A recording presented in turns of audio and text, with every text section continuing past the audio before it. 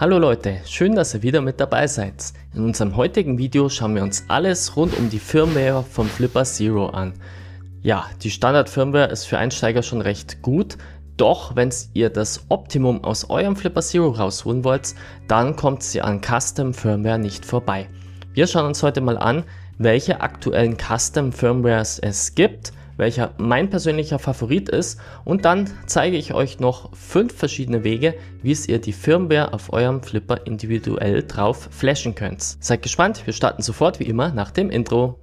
Ich schwenke die Kamera, fange jeden Blick ein. In der Cyberwelt, da muss das Wissen richtig sein. Haufen Bits und Bytes, das verarbeiten wir jeden Tag. Sichere die Daten, ne Gefahr, die ist kein Spaß. Hier geht's um Technik, immer up to date.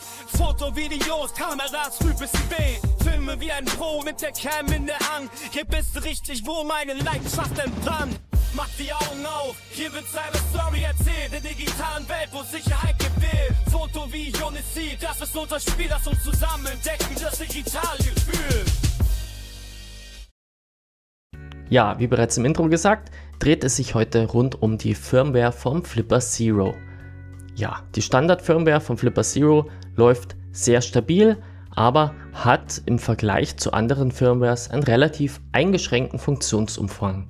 Gerade was die Unterstützung von Protokollen in den verschiedenen Bereichen NFC oder Sub-Gigahertz angeht, haben Custom Firmwares deutlich die Nase vorn.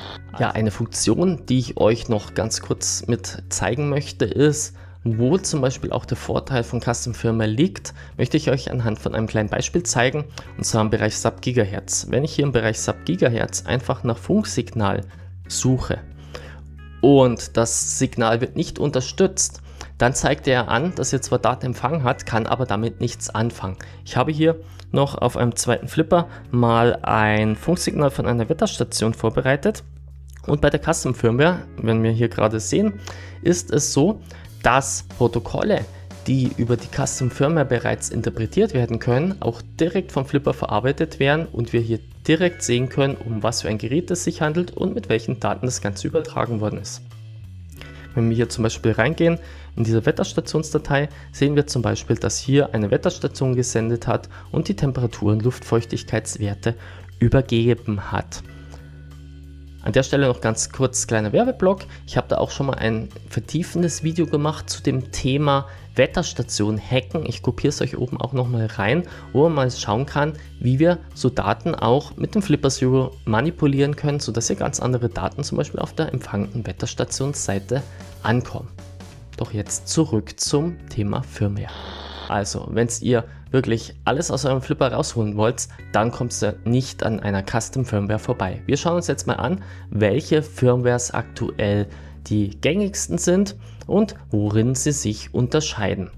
Ja, das hier ist eigentlich auch schon so eine kleine Werbeseite von Momentum, ähm, wobei man das ja doch relativ objektiv sehen muss.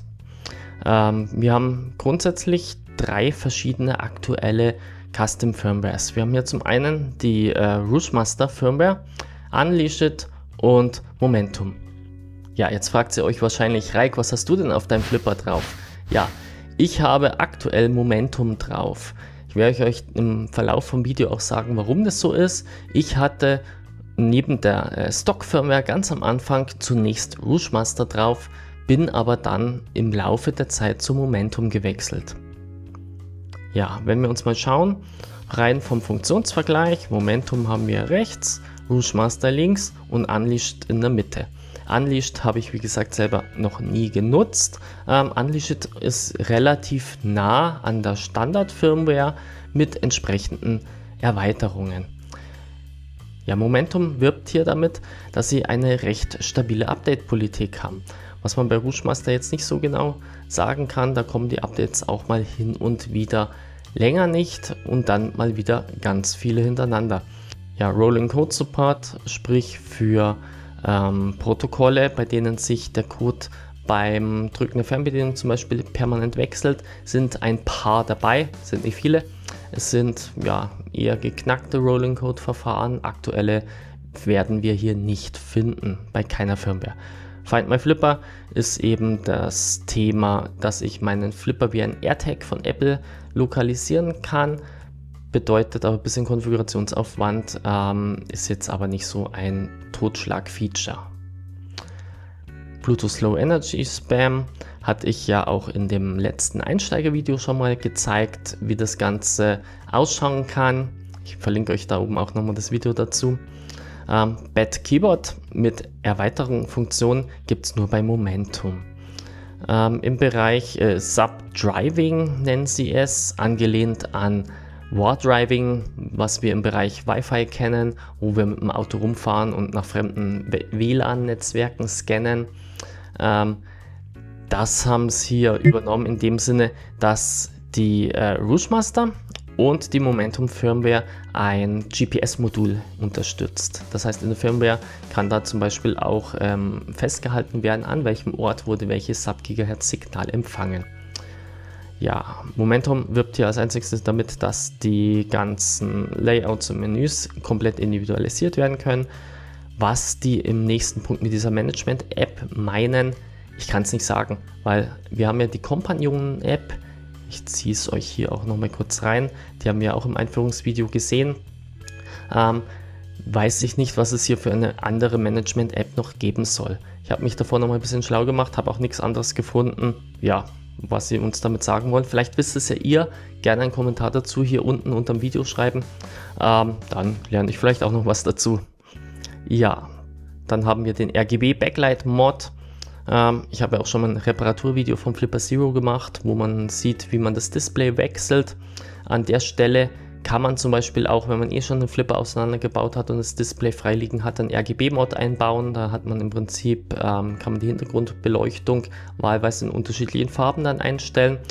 Das ist bei den beiden gängigen hier Rouge Master und Momentum unterstützt. Also dass das Ganze auch softwareseitig angesteuert werden kann.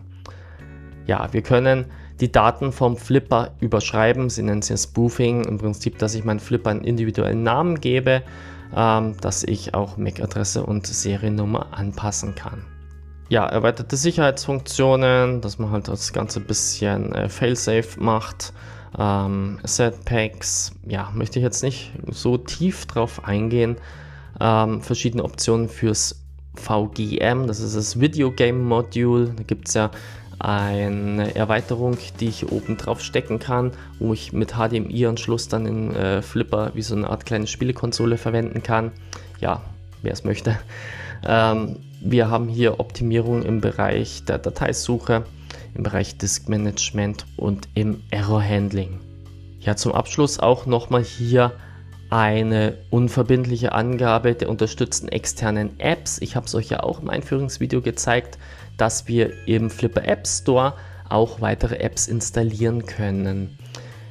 Anfänglich ging es mit den Custom Firmwares nicht, dass ich in den Flipper App Store konnte. Ja, mittlerweile sind auch die Custom Firmwares so angepasst, dass ich hier ganz normal auch über den Stock App Store vom Flipper in der Companion App Apps runterladen kann. Im Vergleich her sehen wir, dass Rouge Master mit 305 externen Apps relativ ähm, überfrachtet ist. Dagegen Momentum hat nur 160 Apps drin. Ja, warum macht das Momentum so? Also Momentum legt Wert auf Stabilität und das merkt man auch, dass sie hier nicht jede 0815 App irgendwie mit in den äh, Code aufnehmen und mit der Firmware ausrollen, sondern dass sie wirklich nur essentielle, sehr gut funktionierende Apps, die auch wirklich durchgetestet sind, aufnehmen. Während bei Rouge Master auch Apps mit dabei sind, die sich teilweise noch im Entwicklungsstadium befinden, ähm, keine Dokumentation mitgeliefert haben oder auch noch sehr fehleranfällig sind oder direkt während der Benutzung abstürzen. Ja, bei Unleashed sehen wir hier ungefähr 200 Apps. Ist so ein Mittelwert zwischen Rouge Master und Momentum. Ja, ich habe ja gesagt, ich selber hier habe Momentum auf meinen Flippers. Ähm, das hat ein paar Hintergründe. Also am Anfang bin ich mit Rouge Master gestartet. Rouge Master war da sehr gut. Man hat hier wirklich sehr viele Apps gehabt. Sehr frühzeitig konnte man neue Sachen äh, nutzen. Aber im Laufe der Zeit habe ich, als auch viele andere User gemerkt, dass verschiedene Funktionen nicht so funktionieren, es zu Systemenabbrüchen kommt, der Flipper einfriert oder dass er gerade im Speicherhandling Fehler hat. Das heißt, ähm, man hat dann öfters mal die ähm, Out-of-Memory-Meldung bekommen, dass nicht mehr genügend Arbeitsspeicher im Flipper ist und dann läuft er in einen harten Reboot rein. Erst dann kann man ihn weiter verwenden. Ähm, Gerade im Bereich NFC super unstabil. Bei ungefähr 4 von 5 Mal NFC-Funktion starten stürzt der Flipper direkt ab. Also da hat Rouge Master massiv an Qualität eingebüßt. Und das war auch ein Grund, mir mal die andere Firmware von Momentum anzuschauen. Und da, seitdem ich zu Momentum gewechselt bin, alles super stable und wirklich auch für den tagtäglichen Einsatz perfekt. Ja, am Beispiel von Momentum möchte ich euch auch mal zeigen, die fünf Möglichkeiten, wie wir das Ganze auch installieren können. Dazu äh, wechsle ich ja schon mal auf die Momentum-Seite bei GitHub wenn man hier auf der Übersichtsseite ist, geht man auf Momentum Firmware und dann ist man auf der Seite, wo man hier auch im rechten Bereich die Releases runterladen kann. Ja, das aktuell letzte Release ist vom 30. April zum Stand von diesem Video heute hier. Und wenn ich da drauf gehe, kann ich hier die entsprechenden äh, Changelogs einsehen und ich kann ganz unten ähm, die entsprechenden Update-Pakete runterladen. Ja, ich empfehle euch am besten das TGZ-Paket runterzuladen, weil das von den meisten Update-Varianten am einfachsten unterstützt wird. Wir starten jetzt mal mit den verschiedensten Varianten, wie ihr euren Flipper updaten könnt. Ja, die Variante 1. Variante 1 ist die Flipper Companion App. Ich habe es euch auch im Einführungsvideo schon gezeigt, dass es hier gleich auf der Übersichtsseite von äh, der Companion App hier die Möglichkeit gibt, die Firmware zu aktualisieren. Wenn wir eine Custom Firmware installieren wollen, dann müssen wir unten das Bereich Custom auswählen und ich kann hier über einen File Manager entsprechend dann das Update-File, was ich schon dann von der Release-Seite runtergeladen habe, entsprechend auswählen. Gehe da mal drauf wir sehen, wie sich der File Manager öffnet. Wir haben hier auch äh, die Möglichkeit, das TGZ-Paket direkt auszuwählen, zu öffnen und dann wird das Ganze auf den Flipper geflasht. Vorsichtig. Ähm, das Ganze läuft über Bluetooth. Bluetooth ist relativ langsam, kann unstabil sein und wenn ein Firmware-Update über Bluetooth schief läuft, brickt ihr vielleicht euren Flipper. Das heißt, ihr müsst dann den ganzen über serielle Schnittstelle wieder neu aufsetzen. Ähm, Deswegen ist meine Empfehlung, diese Update-Variante 1 über die Companion-App nicht zu machen. Dauert lang, unstabil und euer Flipper leidet vielleicht drunter. Deswegen zeige ich euch ganz einfach mal Variante 2. Ja, Variante 2 ist die Q-Flipper App. In der Q-Flipper App, wenn ich hier den äh, Flipper verbunden habe, ich habe ihn hier auch schon mal gerade verbunden, sehen wir hier unter anderem zum Beispiel genau das, was wir hier gerade auf dem Flipper auch sehen.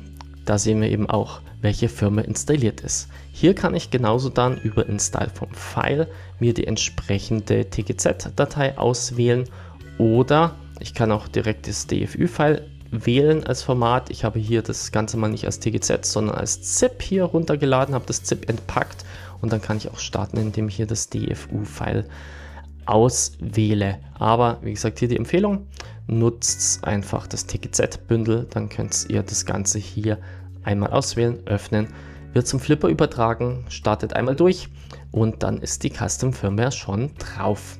Ja, Update-Variante Nummer 3. Update-Variante Nummer 3 ist folgende. Ja, Update-Möglichkeit Nummer 3 ist ja auch über einen File-Manager vom Q-Flipper und zwar kann ich ja hier auf die SD-Karte drauf zugreifen und ich kann das Ganze auch quasi offline ohne Programm direkt über den Flipper aktualisieren. Ähm, Wenn ihr da noch keinen Update-Folder habt, könnt ihr euch einen Update-Ordner anlegen. In den Update-Ordner dann das entpackte ZIP-File einfach reinkopieren. Das heißt hier den kompletten Update-Ordner in meinem Fall habe ich hier zum Beispiel schon mal ein Momentum-Update entpackt. Ich gehe da nochmal rein und wir sehen auch hier wieder die ganzen Dateien, die im Update-Folder drin sind. Ja, ich wechsle hier mal zum Flipper zurück und wenn wir beim Flipper in den File Manager gehen, das ist hier standardmäßig die Pfeil nach unten Taste, dann können wir hier in den Update Folder wechseln. Ich gehe da jetzt einfach mal hin und wenn ich im Update Folder bin, ähm, können wir auch hier wieder in den gerade rüber kopierten Folder reingehen und wir können hier die Update-Datei, und zwar ist das diese hier, die so als kleines Paket angezeigt wird, auswählen. Und wenn ich jetzt hier mit rechts klicke, kann ich das Update offline über den Flipper installieren.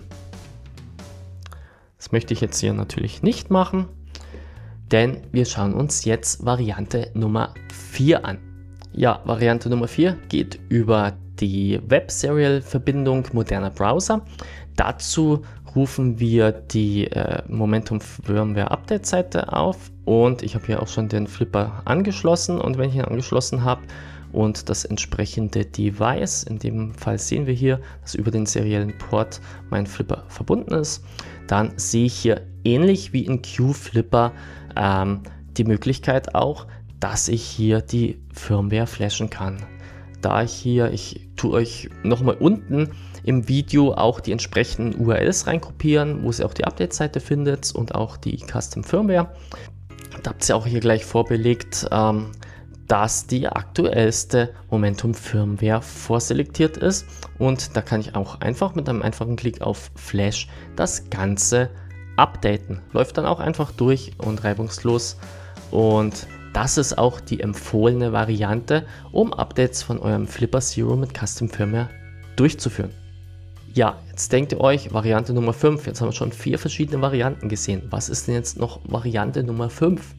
Ja, wenn wir eben hier nochmal auf die Release-Seite schauen, sehen wir eben auch die gerade angesprochenen Varianten. Ja, wir hatten ZIP, das ist im Prinzip, wo wir die ähm, Firmware-Update-Dateien direkt auf den Flipper kopiert haben. Wir haben das Q-Flipper-Package TGZ, was wir über die Q-Flipper-App installiert haben. Wir haben dann das Ganze über die Mobile App, wo wir dann uns auch das TGZ-Paket rausgesucht haben. Und wir haben jetzt gerade in Variante Nummer 4 das Update über den Chrome-Browser durchgeführt. Ja, Variante Nummer 5 setzt darauf auf, dass wir das Ganze über die Kommandozeile im Terminal machen.